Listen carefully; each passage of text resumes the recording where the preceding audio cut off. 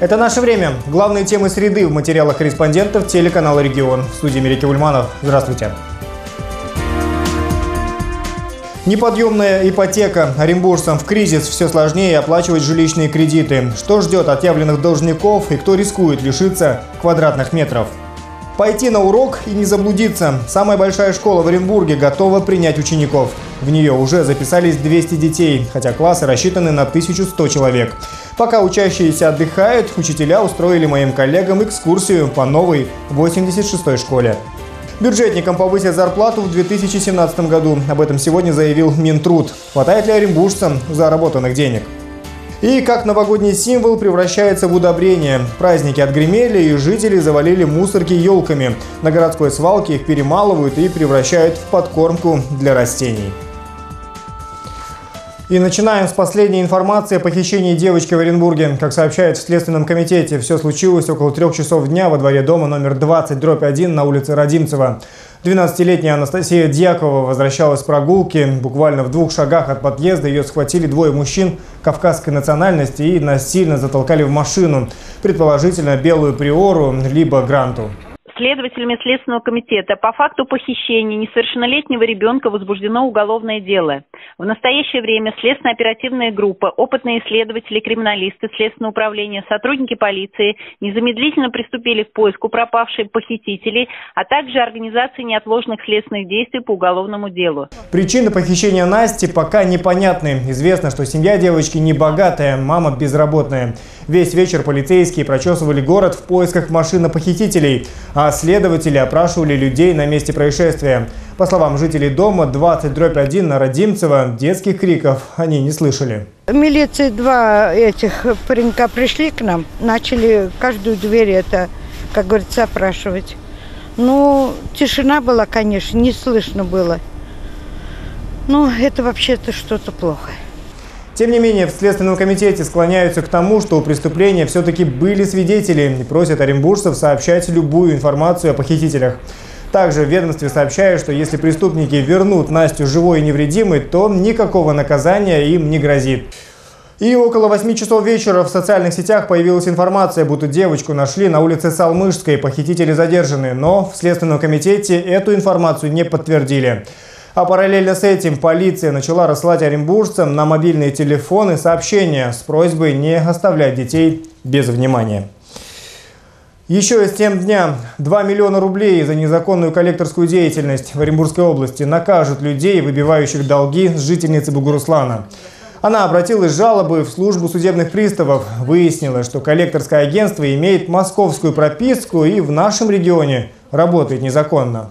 Службой судебных приставов была проведена проверка а, указанных доводов и выявлено, что коллекторское агентство оно не входит в официальный реестр юридических лиц, которые имеют право осуществлять подобные а, работы и услуги. В связи с этим у нас собирается пакет документов, чтобы данную организацию привлечь к административной ответственности по части 4 статьи 1457 Кодекса об административных правонарушениях, который предусматривает санкция, штраф до 2 миллионов рублей. Оренбургские приставы говорят, до Нового года коллекторской деятельностью в регионе занимались 14 компаний, но ни одна из них не подала документы на регистрацию. На сайте службы судебных приставов России опубликован список из 26 теперь уже официальных коллекторских агентств, и там оренбургских компаний нет. До 1 января был дан срок всем коллекторским агентствам, которые желают в дальнейшем осуществлять данные услуги, они должны были подать заявление на получение свидетельства соответствующее, а также включение в реестр юридических лиц, которые осуществляют именно по работе с просроченной задолженностью. Нашего регионального управления еще ни одного заявления не поступило, пакет документов, который необходим для регистрации. Поэтому можно считать, что все коллекторские агентства, которые на данный момент такие услуги оказывают и работают с просроченной задолженностью, они незаконны.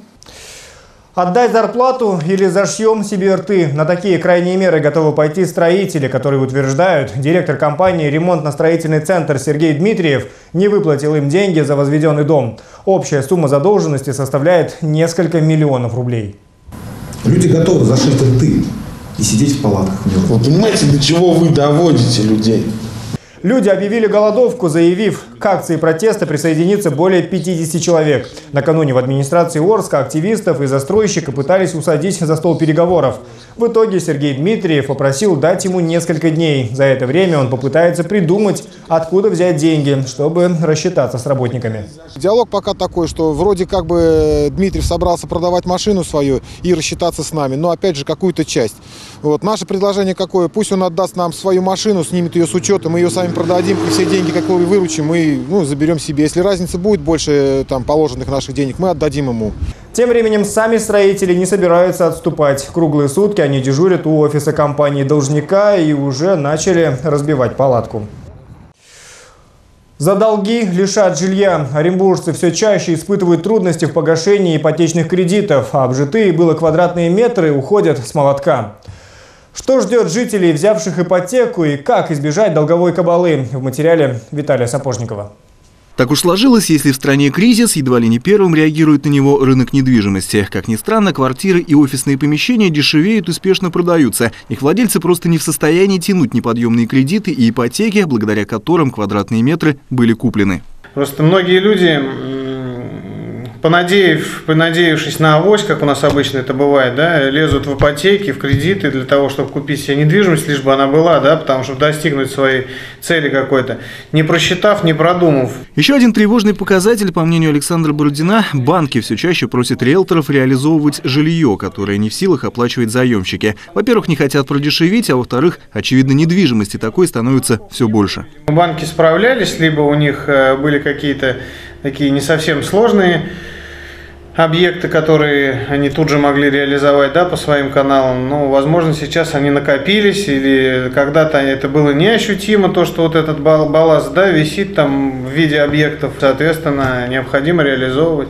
Взятая еще пару лет назад ипотека для многих превратилась в реальную проблему. Доходы снизились, а ежемесячные платежи остались. И гасить кредит на жилье все сложнее. По состоянию на середину прошедшего года, то есть где-то на май месяц, а, просроченная задолженность по ипотечным только кредитам составляла более 4 триллионов рублей в России. И если для сравнения, чтобы сориентироваться, величина доходов бюджета консолидированной Российской Федерации 13 триллионов. То есть это третья часть бюджета Российской Федерации.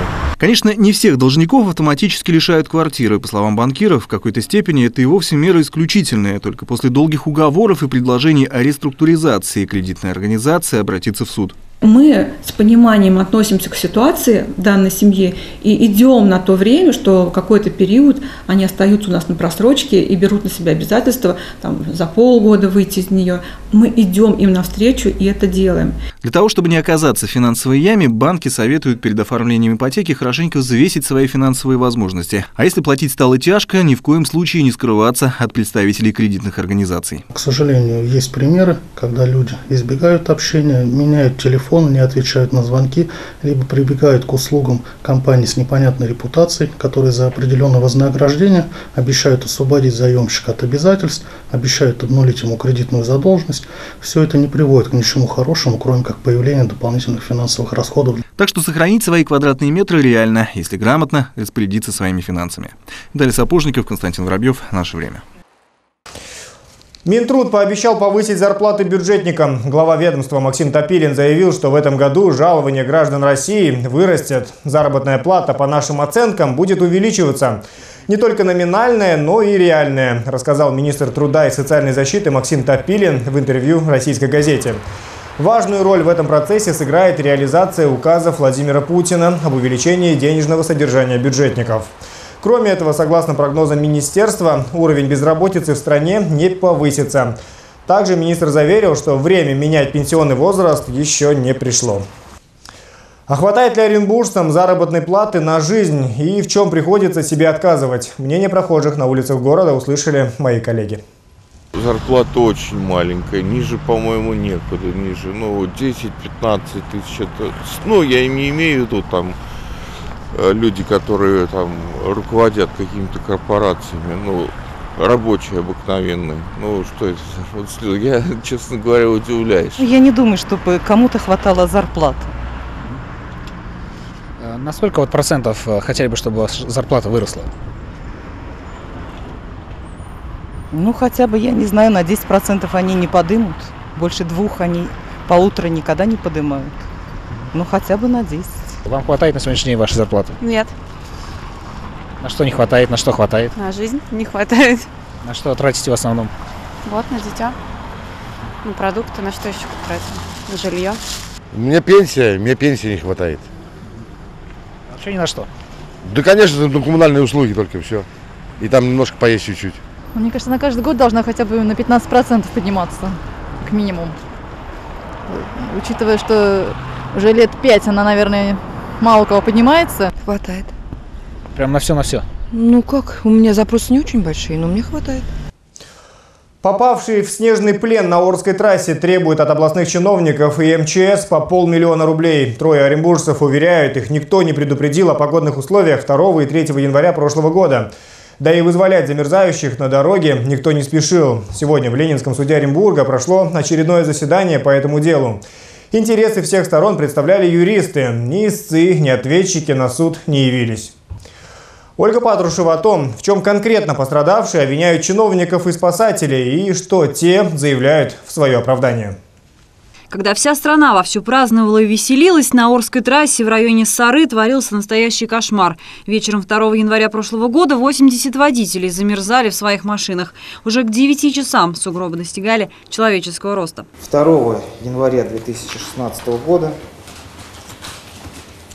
истцы, это Далхина Венера Фаритовна, ее несовершеннолетняя дочь Далхина Валерия Павловна и Деменков Алексей Юрьевич выехали из города Оренбурга в город Орск.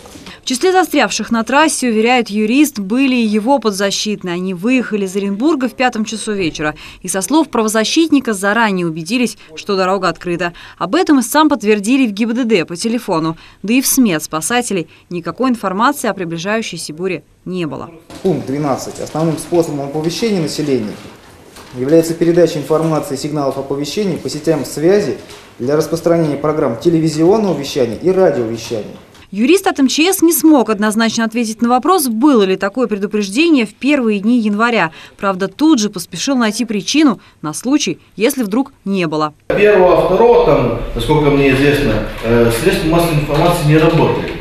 Представитель МЧС не смог ответить и на другие вопросы, а вот представитель правительства области считает, что претензии пострадавших к ним не по адресу. Задача комиссии по ликвидации ЧС – координировать работу спецслужб области. После того, как э, поступали сигналы э, о, э, об этих событиях, то они были, соответственно, переданы в те территориальные подразделения спецслужб, которые, э, на, которых, на территории которых это произошло. А первую информацию о случившемся в правительстве области получили только утром 3 января. До этого районные чиновники, видимо, своими силами надеялись справиться. Трассу же перекрыли еще 2 января в 6 часов вечера. И никто не исключает, пострадавшие, которые теперь требуют компенсацию, действительно могли оказаться в числе тех, кто замерзал. Какие морально-нравственные Погиб человек прямо у них там на глазах. И они могли погибнуть также. И они в связи с этим испытали сильный испуг и шок. Все это пострадавшие оценили в 500 тысяч рублей. Каждый. И сегодня разбирательство не закончилось. Следующее назначено на 6 февраля. Суду предстоит все-таки еще раз выслушать представителей от МЧС и новых ответчиков. Их в этом деле теперь аж пять. Ольга Патрушева, Дмитрий Примачек. Наше время. В Оренбурге появятся новые светофоры. Дорожные регулировщики установят в основном рядом со школами. Один из таких объектов заработал на улице Ленинской на пешеходном переходе рядом с Аграрным университетом. Еще один светофор монтируют на перекрестке улиц Советской и Правды. О том, как в этом году в городе изменится дорожное движение, знает Екатерина Волкова. По соседству со знаком пешехода расположится теперь светофорный комплекс. Новый объект начали строить на перекрестке улиц Советская и Правды. Дорожного регулятора оренбуржцы просили давно. Движение здесь интенсивное и часто опасное. Завтра будем тянуть кабеля, расключать все. И на этой неделе должны включить. Если, конечно, морозы не помешают. Ведь при сильно низких температурах тянуть провода дорожники не будут. Нельзя. Помимо светофора на перекрестке появятся и дополнительные дорожные знаки. Разместят и так называемые табло с секундомерами обратного отчета. В этом году мы по улице Правды установили там большие желтые знаки повышенной яркости, то есть внимание дети. Сейчас там ставится, значит, вот именно светофорное регулирование для того, чтобы безопасно дети могли идти в школу. По-новому переходить дорогу стали студенты аграрного университета. На улице Ленинская уже заработал современный светофор. Притом, помимо световых сигналов, здесь еще и текстовые, чтобы уж наверняка знали, когда можно начать движение. Ну, мы первый раз только увидели да. его, поэтому думаем, что удобнее. Раньше машины не, как, не уступали, бывает, что и избивали. Поэтому лучше, конечно, светофор поставить. Поэтому я думаю, это самый оптимальный вариант. Следующий этап – это установка светофора на Элекской трассе в районе авиагородка. К монтажу специалисты планируют приступить уже в следующем месяце. Всего же за год будет установлено еще пять новых дополнительных светофорных объектов. Светофоры появятся в Степном на улице Салмышская, также на перекрестке улиц Пролетарская, Хабаровская, Сахалинская. Масштабная реконструкция ждет и светофор на Невельской и Цвиллинга. На все запланировано около двух с половиной миллионов рублей. Работу обещают закончить до конца года. Еще в планах дорожников установка новых ограждений. Они появятся на наиболее аварийных пешеходных переходах. Екатерина Волкова, Владимир Семенов. Наше время.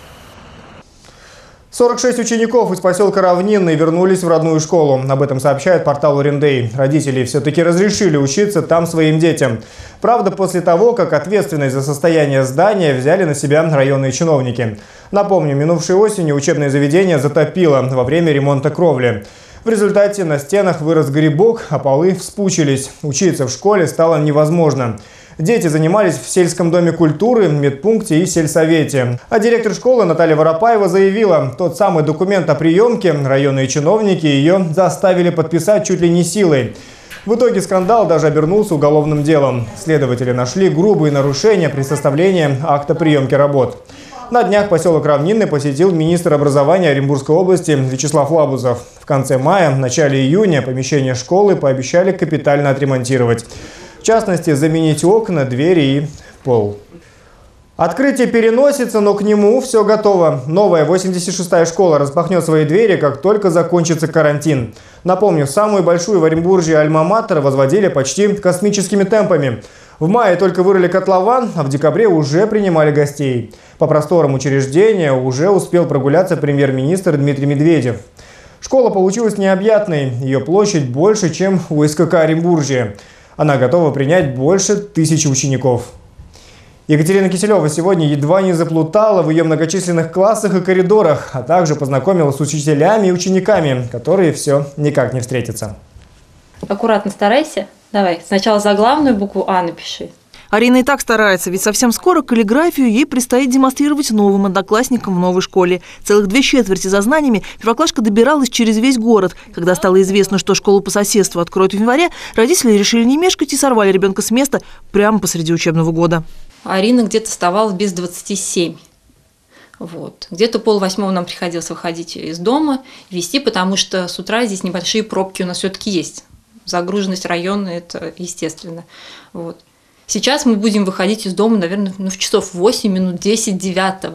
То есть это ребенок может лишние полчаса поспать. Сама Арина, впрочем, торопится не столько выспаться, сколько познакомиться с новой альма ведь она о ней столько слышала. Я знаю, что там есть скалодром, и очень хочу побывать на скалодроме, еще хочу посмотреть на тренажерный зал, и, на, и столовую хочу посмотреть, и большой класс. В большом классе большой школы давно все готово. Ольге Гавриленко не терпится взглянуть на своих новых учеников, хотя половину она знает и так. Сюда, из шестой гимназии, учительница перешла не одна, с поддержкой.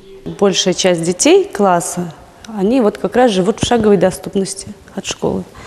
Если сначала родители деток возили на машинах туда, и это занимало больше времени, то сейчас это все порядка там 10 минут. Школа, которую возводили какими-то космическими темпами, выглядит необъятной. Ее площадь больше, чем у СКК Оренбуржья. Она готова принять свыше тысячи учеников, но это в будущем.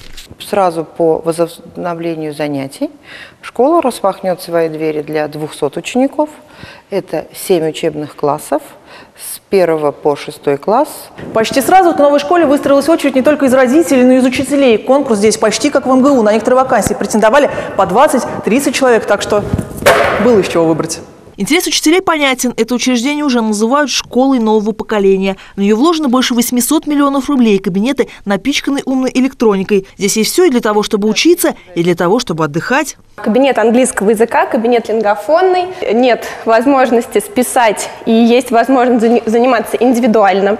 И у учителя есть шикарная возможность прослушать, проговорить и поработать прямо на уроке с каждым учеником индивидуально. Уроки труда тоже осовременят. Теперь хозяйничать хозяюшки будут не с плошками да поварешками. Пароварка, мясорубка, миксер, блендер, посуда. Причем посуда очень красивая, очень качественная, ее приятно держать в руках. Еще один плюс. Новую школу строили так, чтобы детей с ограниченными возможностями ничего не ограничивало. Откидные поручни и система вызова помощника. Если вдруг какая-то проблема произошла, нажимая на кнопку. Насколько все это удобно и доступно, сейчас сказать сложно. Ученики с ограниченными возможностями пока в списках не значатся. Впрочем, классы создаются и наполняются быстро. Еще вчера предполагались четыре начальных, сегодня их уже шесть, то ли еще будет. В семье Доминевых, к примеру, еще не успели проводить в новый первый класс старшую Арину, а уже мечтают о том, как младший Даня получит там свою первую пятерку. Даня у нас тоже пойдет в новую школу вместе с Аришей, да? Екатерина Киселева, Виктор Горшинев. Наше время. Новогодние праздники закончились и о торжестве напоминают лишь повсеместно выброшенные на мусорку елки. Куда вывозят уже никому не нужные сосны, пихты и ели, и что с ними происходит после праздников? Иван Бер и Владимир Семенов узнали судьбу некогда зеленых красавиц. Новогоднее волшебство отшумело, и теперь можно созерцать лежащие в повалку главные символы праздничных дней наступившего года. Площадки мусорных баков в каждом дворе пестрят зеленью, и многим горожанам уже все равно, что будет с ненужными деревьями. Впрочем, злые языки утверждают, эти сосны и ели попадают на купели грядущего праздника крещения. На купель ничего не попадает, эти елки попадают все 100% сюда, и, получается, дробятся путем дробления и захоранить, соответственно, на полигоне отдельно на карте. То есть и в итоге получается уменьшение объема елок раз в 7-8 от объема привезенного. Миф развеян, и, как выяснилось, выброшенные елки попадают прямиком на свалку. Посмотрите, для сравнения, вот эта большая куча деревьев через несколько минут будет превращена дробилкой в компактную груду опилок что позволяет экономить уйму свободного места. Раньше просто в тело свалки их засыпали, задвигали и все. То есть это потом пожары из-за этого, потому что они высыхают, горят просто там, как пух. И объем, соответственно, увеличивали на полигоне. Сокращали срок службы с полигоном. Кстати, это еще не все. Руководство свалки придумало, как дать деревьям вторую жизнь. Все опилки будут превращены в полезные удобрения, которые наверняка будут востребованы у фермеров. То есть эти уже мертвые деревья дадут жизнь новым растениям. Третий год, как мы начали дробить и складировать, еще года 3-4, потому что 5-6 лет, естественно, чтобы они образом разлагались, без применения каких-либо там технологий. Ну и там максимум экскаватором шебуршим, и все. И на компост. И на компост. Ну, она в яме скоронится, перегнивает естественным способом а потом анализы возьмем, может получится хорошее удобрение. Совсем недавно эти сосны росли в лесу, затем их спилили, чтобы радовать горожан на новогодние праздники, а сегодня их перерабатывают на вторсырье.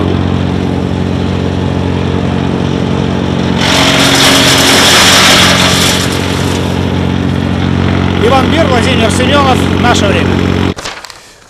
В конце выпуска информация от городских электрических сетей. В среду жители некоторых улиц Оренбурга и пригорода останутся без электричества. Причина – плановой ремонтной работы. Дополнительную информацию можно уточнить по телефону 56 83 38 либо 98 48 48. Такие новости, выпуски программы «Наше время» и другие проекты можете посмотреть на сайте 56mv.ru. Хороших вам новостей и берегите себя.